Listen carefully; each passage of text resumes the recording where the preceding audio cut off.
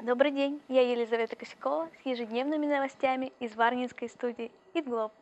Сегодняшняя наша тема – это Международный фестиваль еды в Катаре.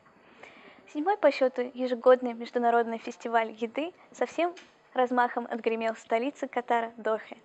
С 22 по 28 марта посетителям был предложен огромный выбор еды, начиная от продукции уличного питания и заканчивая кулинарными шедеврами – Впервые фестиваль был проведен в 2010 году и являлся частью правительственной стратегии по увеличению и разнообразию туристического сектора в стране.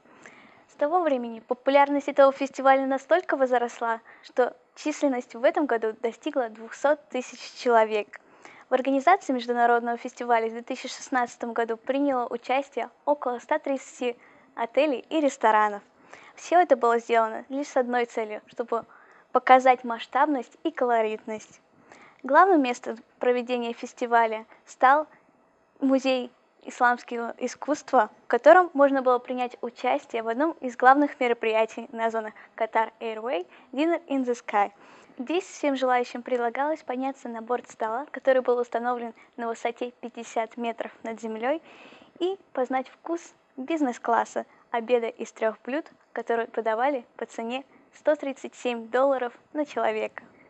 Развозкой туристов занимался специальный разъездной катер. Ко всему прочему, на воде также были проведены интересные события, одним из которых стало барбекю в заливе, где обученный персонал готовил специально для гостей копченое и жареное мясо.